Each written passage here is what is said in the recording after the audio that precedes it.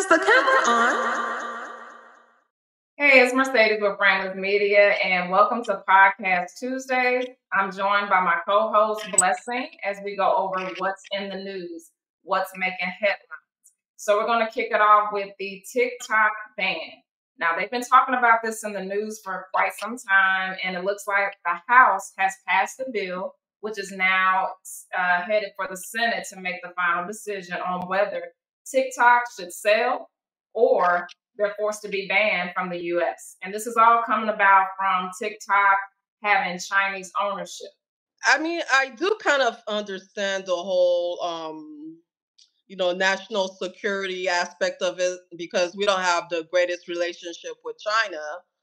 But I mean, it's a fun site. I mean, I don't see a lot of people giving out their information.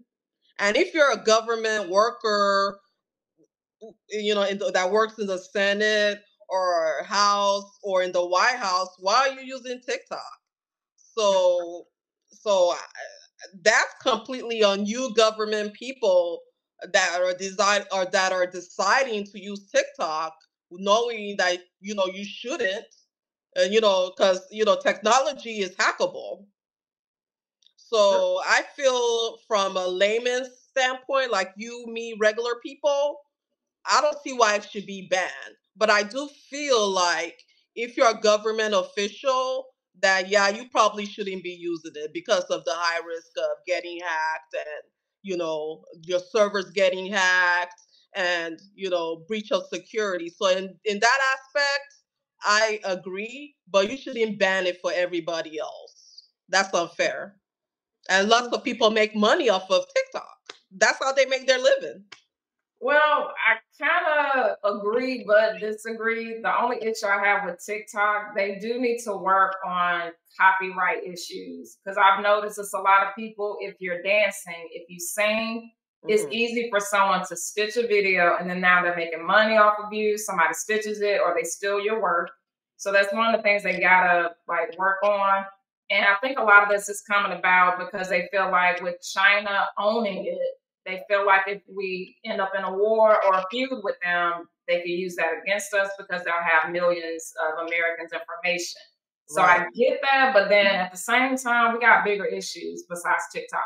That's right. another thing. Like, can we lower prices of food? Can we lower the mortgage rate so people can have a place to live? Because right now, I feel like a lot of people are homeless or living paycheck to paycheck, and that's not getting resolved anytime soon. And TikTok is not a priority. Right. We're going to move on to the next headline story, which is Draya and Jalen Green. Hmm. I'm not a big fan of age gaps in relationships whether man or woman. So, but they're both consenting adults, and he's over the age of 18. He's old enough to make his own decisions. He's a grown man.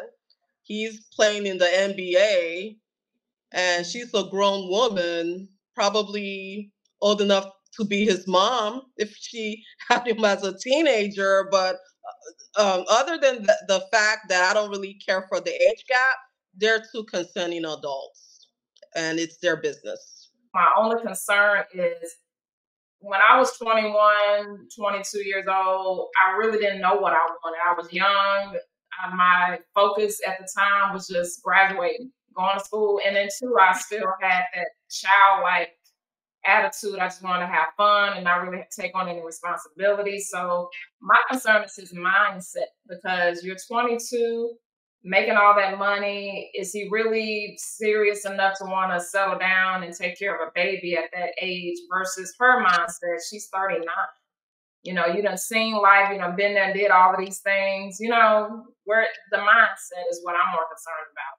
But you know, if he wasn't ready and she wasn't ready, they wouldn't have had unprotected, you know what. So they knew the consequences of, you know, having that unprotected, you know. So, yeah. I mean, if she ended up pregnant, I would say more than likely they planned for it because uh, I don't know. I don't know their bedroom secrets or life or whatever, but they all run in the same circles because they all date each other. True. Wasn't she a basketball wife? Yeah, Yeah, yeah. It's true. She, Mhm. I mean, yeah, not to like shame her past, but she has been out there and dated a lot of high profile men. Mhm.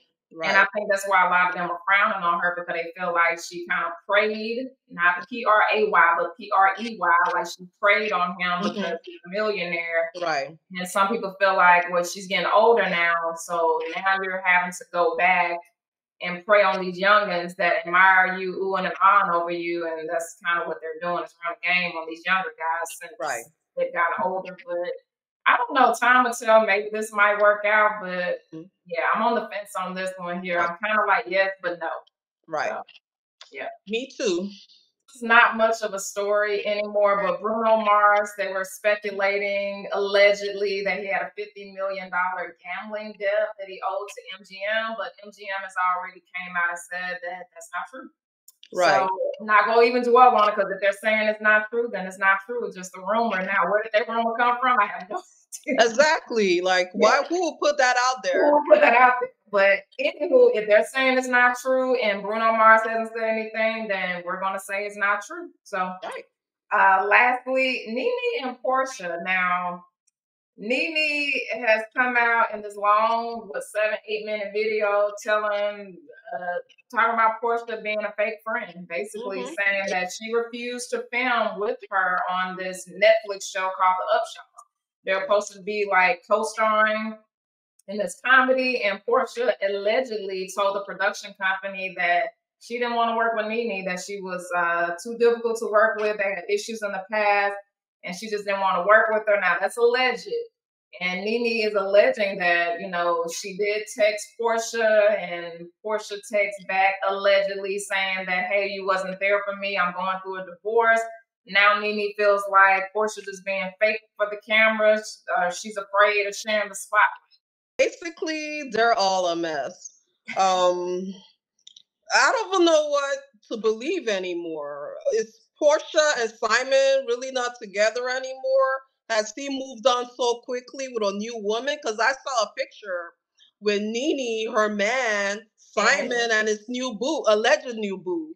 So, hmm, because wasn't it just two weeks ago they were all happy, lovey dovey, and now he has a he's found a woman in less than two weeks. So I don't know what's going on. And as far as Nene, we all know Nene. She exaggerates. Um and you know, she really didn't need to put all this business out there. Like, what's the reason? She could have Mhm. just kept it um, you know, private between them. Um, she really didn't need to to to air this business, especially when Cynthia came aboard and you know replaced Porsha. So what was the reason for her to? This is all a part of the PR machine uh, with Porsha going back to Bravo. I think. I don't really feel like there's really any beef for real. And then Mhm. not only that, but if somebody doesn't want to work with you, then they don't want to work with you. Yes, and then Nene, she's really showing herself to not be a good friend because she's airing the business out. So she's proving Porsha's point. Like it doesn't make sense. No, it doesn't. But time, look, time will tell. The truth eventually will reveal itself. If they're not on good terms, then it is what it is. But again, she does have a right to say no. I don't want Right. to work with you, and that, that should be it. It shouldn't have to go into well, you just don't want to be in the spotlight, you know. Right. So, Exactly. it's just, now you're pulling, you know, pulling all this fake news out there. So Right. I don't know. The, the two of them are always going back and forth, and Yep. I wouldn't be surprised they probably sitting back laughing at us like, oh, they up the Exactly. storyline. But yeah, I Yeah. feel like it's a PR thing too. Yeah. Um, well, don't forget to, of course, watch every video on our channel. Uh, don't forget to watch my um my box office reviews, and you know, hopefully some upcoming TV shows for me to review. Um, maybe some movies, but you know, I'll just you know let whatever leads me leads me, and uh, hope to see you guys next time. Bye. Bye.